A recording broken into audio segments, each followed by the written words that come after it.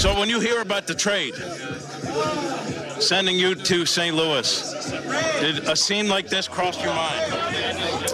Well, you know, when you had rumors uh, around you, you never know what's going to happen. So, uh, as soon as I heard St. Louis and, and came, you know, I'm, really happy when I heard that. So um, uh, I know I'm gonna I'm gonna be a part of a really good team with really good chance to to win the division and you know go deep in the playoffs. So it's, uh, it's unbelievable time um, I spent the last two months in here, and, and I'm really proud of this uh, of this this part of all my teammates, the staff, and I appreciate how easy they, they make my, my way to be here. So I came, um, I don't have words uh, to explain how I've been feeling, you know, around the, this team, but it's, uh, it's, an amazing time.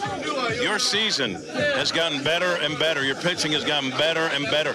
You must feel really good right now about your stuff. Thank you. Yeah, I feel good. I mean, um, I'm really, I'm really happy how we've been, we've been doing uh, how we we play uh, on the fields. I think uh, every, uh, you know, the, the, the good things I like is every every night or every day we have a really good chance to win games. You know, so everybody, you know, make the best effort to do good things out there. So yeah, I feel good. Um, I think the way I feel is because they they make me they make me easy. You know, they take care of me really good in here. So it's um, um you know, I'm, I'm so proud. Good luck the rest of the way. Thank, Thank you. I appreciate it.